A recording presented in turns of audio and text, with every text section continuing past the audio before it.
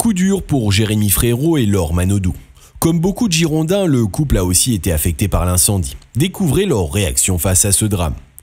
Invité chez le Parisien, Jérémy Frérot a accepté de revenir sur l'incendie qui a eu lieu sur le lieu où ils habitent. Rappelons que c'est en Gironde que le chanteur vit aux côtés de sa petite famille. Avec sa femme, le musicien a aussi perdu un endroit qui leur est cher à cause de cette tragédie. Jérémy Frérot connaît une carrière florissante dans le monde de la musique. Après la séparation de son groupe, Frérot de la Vega, qu'il formait avec Flo de la Vega, le chanteur a tracé sa route tout seul. Et le beau brun a bien évidemment su se faire une place dans le milieu grâce à son talent.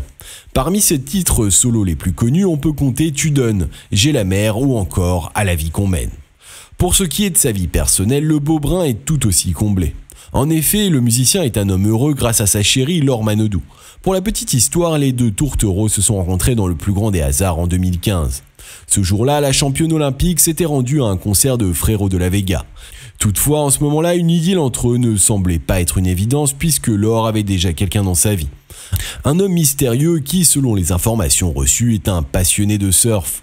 Une fois le spectacle terminé, Laure a eu la chance de rencontrer les frérots de la Vega dans les coulisses. C'est à ce moment-là que les deux tourtereaux ont eu un coup de foudre l'un pour l'autre. Même si la nageuse n'était pas un cœur à prendre, cela ne l'a pas empêché d'aimer le chanteur. Ensuite, après avoir tenu leur idylle secrète pendant longtemps, ils ont fini par l'officialiser en été 2015, sur le tapis rouge des Energy Music Awards. Depuis, Jérémy Frérot et Laure Manoudou filent le parfait amour. Très amoureux, ils ont décidé de se dire oui pour la vie le 12 mai 2018 dans les Landes. Notons qu'un an plus tôt, ils avaient déjà accueilli un enfant. Leur aîné, Lou, est en effet né le 18 juillet 2017. Quatre ans après sa naissance, le petit garçon est devenu grand frère. Le deuxième fils de Laure et Jérémy, dont le prénom n'a jamais été révélé, a vu le jour le 9 janvier 2021. Par ailleurs, la nageuse est déjà devenue maman avant la naissance de ses deux garçons. Manon est le fruit de l'amour entre Laure et le nageur Frédéric Bousquet. Comme la plupart de nous tous, Laure Manodou et son compagnon ont eu aussi dû faire face à des périodes très compliquées dans leur vie. Parmi les événements les plus durs auxquels ils ont vécu, on compte l'incendie de la Gironde. Pour ceux qui ne le savent pas, le couple vit dans la communauté de la Teste de Bûche aux côtés de leurs enfants. Et bien évidemment, le fait de voir cette commune partie en fumée les a affectés. Invité chez le Parisien le 19 juillet 2022, le chanteur avait accepté de partager sa détresse en voyant le bassin d'Arcachon totalement ravagé. Jérémy a affirmé que ni lui, ni les autres membres de sa famille n'avaient jamais vécu un tel incendie.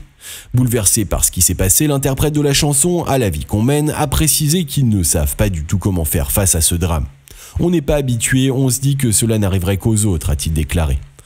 Pour information, l'incendie en Gironde a fait des ravages pendant plus d'une semaine. La veille de son interview avec le Parisien, Jérémy et sa famille ont décidé de quitter leur maison familiale à la hâte. Pour cause, les flammes de la forêt s'approchaient de plus en plus de leur domicile. Le chanteur a raconté que de la fumée entrait dans leur maison. Ainsi, il était impossible pour lui, sa femme et leurs enfants de s'endormir. On a eu peur de s'intoxiquer et de ne jamais se réveiller, a-t-il dit. Par conséquent, Jérémy et Laure ont pris la décision de déserter leur maison la nuit même. Ils n'avaient pas envie que quelqu'un les réveillait à 4 heures du matin à cause du feu. D'autant plus que le maire de la commune avait demandé à toute la zone d'évacuer. Après avoir quitté leur domicile, Jérémy Frérot et son clan ont trouvé refuge dans la commune de Gujan-Mestras. Bien que la petite famille soit loin du danger, cela ne les a pas empêchés d'être tristes en constatant les ravages de cet incendie.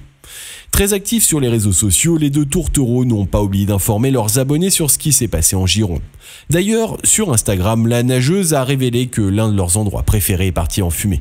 Il s'agit du restaurant La Salissud qui se trouvait dans une forêt domaniale à proximité de la Teste de Bûche. Les responsables ont d'ailleurs déjà annoncé la triste nouvelle sur le compte Instagram du restaurant. C'est avec beaucoup de tristesse que nous vous informons la fin de notre belle salissud, peut-on lire sur le message. Attristé par cette nouvelle, Jérémy Frérot a aussi tenu à faire part de ses ressentis dans sa story Instagram. Selon le musicien, la salissud était un endroit plein de vie. Il n'a pas non plus oublié de rendre hommage aux personnes qui ont pu faire exister ce lieu durant ces dernières années. Force à toute cette équipe et à toutes celles qui ont perdu leur endroit. Courage pour ce temps de deuil et vivement le temps d'une nouvelle histoire, a-t-il écrit. Nul doute que de voir son restaurant préféré détruit par les flammes est dur pour le chanteur.